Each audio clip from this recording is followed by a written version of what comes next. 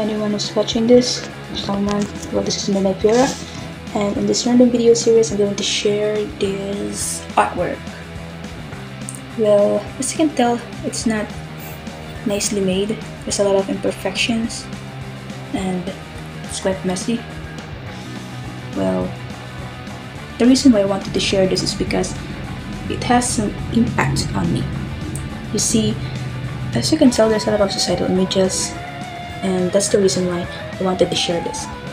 Because this is just based from my own experience, but yeah, do you know the time when you feel like nothing's just working out and just wanted to die, leave this world, and just rest forever? Well, this there is somehow representing a thought in my head. Like, I wanted to hang myself, or maybe burn myself, so I would turn into ashes quickly, or maybe lashing out my wrist, head, maybe shutting my head, blood splatters all over, or much better jumping off a cliff, or drowning myself in water happily, or maybe injecting myself with some lethal drug. You know what I mean. That that's just before, because right now I'm out of that system. You see, this is why I wanted to share this artwork. This artwork doesn't mean that you have to do this. It just means that before you do this kind of acts, think first. Because for me, I find love. I found passion. Passion in arts. You see, arts can be really powerful.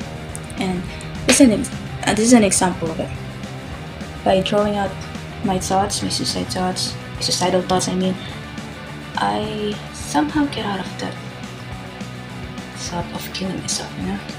I mean, right now, arts have helped me live, and I find passion in it.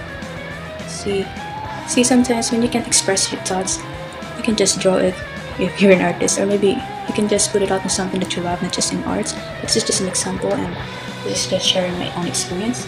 So yeah, that's all I to say for this video. I hope that you learned something and uh, get something from this from this messy artwork.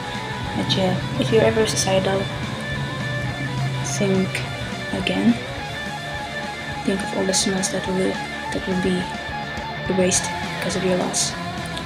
Because you were born in this world to fight. Yes, it's really hard to fight, especially in these times, right? Because there's a lot of COVID, and there's a lot of debt, there's a lot of crimes, school, family, budget, everything's just messed up, but we're all together in this one. If you feel like you're alone, you can have a chat with me. you can chat me in Gmail, or maybe something like that, and tell me all your thoughts. I'll be happy to listen.